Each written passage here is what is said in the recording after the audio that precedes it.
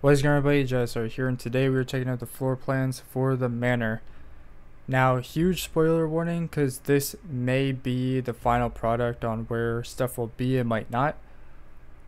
So if you don't want to get spoiled, like I said uh, in the last Devour video, uh, click off now because this might be your last chance. Today, uh, well actually I'm a day late, but yesterday Devour got an update and I immediately looked at the files and they added the manor to the floor plans. If you didn't know, if you got Supporter Edition, you can actually look through the files of Supporter Edition and they give you the floor plans for every single map, including the one that is upcoming. Because last time we were able to see the slaughterhouse before it released and now we have the manor. But of course I didn't cover the slaughterhouse but if you do want to see me solo some of these maps or bring in some friends to beat these maps uh, let me know down in the comments below. But I gave you guys enough time for the people that don't want to get spoiled. Uh, hopefully they are gone now. So let's check it out. Okay so on screen now you should be able to see the level design for the manor. Uh, what can we see so far? Well, other than the Devourer and the Straight Back games, logos at the bottom left and right, and the manor level design on the top left, uh, we have three major spots that we're gonna have to cover. We have the ground floor, the second floor, and then the underground. Let's start out on the ground floor. We have the start location, and it looks to be just like the farmhouse where you spawn in and then you jump over and then you're stuck in the actual level. I'm sure someone will probably find a glitch day one where you can keep April in this uh, spot. So we're in here, we come down and then we have the front garden. To the right is the statue, which I don't know what statue it is because it looks well, it's a top-down view, we can't really see it that well. But again, once beta comes out, I might play it, or whenever the full thing releases, then I might play that. But we have statue front garden to the left is the front garden, or more of the front garden, I guess. But I don't know, because some spots have either like a way that you can actually go or they're blocked off from the drawing. So I'm going to assume it's like there's something here that's just blocking the uh, top-down view or like the, it's just straight up blocked off. Uh, you come down from this front garden, well actually I should say, if you go right there's a crypt entrance which we'll talk about that after. But if you go straight from the start location to the front garden, you'll head straight to the manor. Inside we have the lobby. It looks like these are the set of stairs that we can go to the second floor.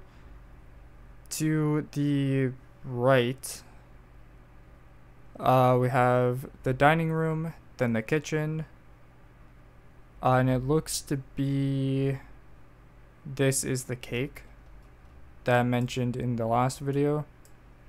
And this looks like the uh, boar platter, I think that's what it was called. We also have a closet here. And then to the left of the lobby, we have a tunnel entrance, which probably leads to the underground. A sitting room, a study, and then downstairs bathroom. And then we can probably under the stairs go back outside and head over to the back garden and then there's a shed. And then to the right of the back garden is the gazebo. So that's the ground floor. Uh, let's talk about the underground next because we have the crypt entrance and then we have a tunnel entrance which is pretty interesting. So as we saw with the ground floor, this is where the tunnel entrance should be in which we just have a tunnel of death because this is going to be really annoying if April shows up at the start and you're like already halfway through or she's coming down here and you're going towards the crypt. Uh, and then you we have the crypt entrance as well. We can go through here and we enter the crypt, which is most likely the ritual area. I'm going to assume this is where everything starts and ends. But there's not too much about the underground so far. But then again, it's super early uh, to see this, and a lot of it might be changed. But hopefully we'll see more uh, in the next two weeks or so. But we have the second floor now. We have the lobby, or upstairs the lobby. And which this is the stairs. We got the upstairs lobby. The left wing hallway. We have the painting room, the office. To the right of the upstairs lobby uh, the right wing hallway, children's bedroom, master bedroom, then upstairs bathroom. Which it looks like the children's bedroom and master bedroom both connect to the bathroom, which is good.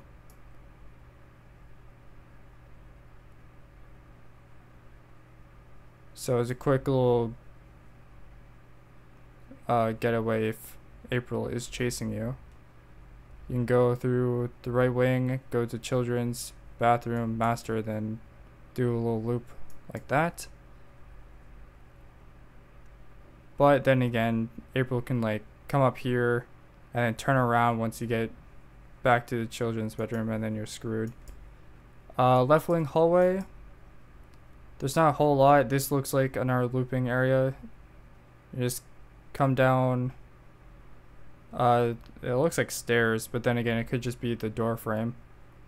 Uh, you come down here and then you just loop around the table, then come back. And then the painting room is just a painting room, I guess. There's not really much to say about it. But it looks like both the right wing and left wing hallway both have doors to them. So you can probably just close uh, April out whenever you're done looping in the two zones. So that's pretty good. Yeah, this level looks pretty good for an outside indoor level. Again, it's going to be a little annoying because the ritual uh, object is floating heads. So we'll have to see when the level comes out. But hopefully you guys enjoy. Uh, let me know your thoughts on the floor plan and what your thoughts on the level overall uh, in the in the description in the comments down below and I will see you guys in the next video peace